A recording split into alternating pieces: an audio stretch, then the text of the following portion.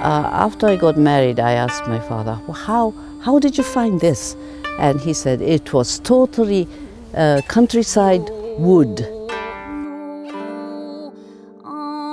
And then he stand up over there, look at that down towards Shinagawa way, and found the uh, sailboat is sailing in the Shinagawa Bay.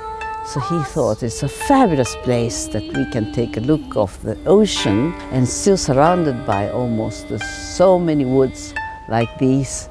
And uh, so he bought it and then he built his own residence uh, over there. But the uh, war started and uh, all those air raids and so forth, uh, the Tokyo has been changed. Fortunately, we, this area were not uh, burned by the air raid. So after the war, he cannot hold it, so he lent it out to the restaurant called Hannyaen. And it is one of the most uh, well-known Japanese restaurants, very typical Japanese. Many foreign people came to Japan and found out this is the most Japanese uh, things in Tokyo. Then my father-in-law thought that, oh, then that's good to have his own collection to be in some uh, museum to keep it to open for the public.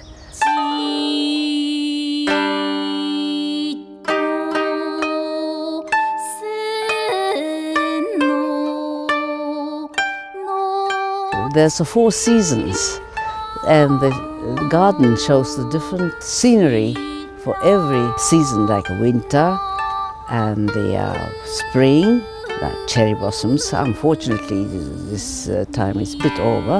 In summer it's green and nice and shades and autumn is full of maples, almost burning fire.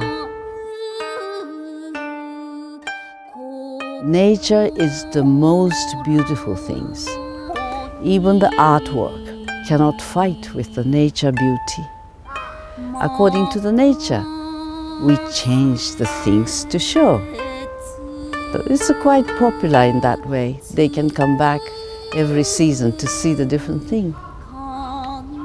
And there's one, two, three, four tea ceremony room, and we are renting out for those people who wants to use. And uh, they do get together, tea ceremony and so forth, and they enjoy it.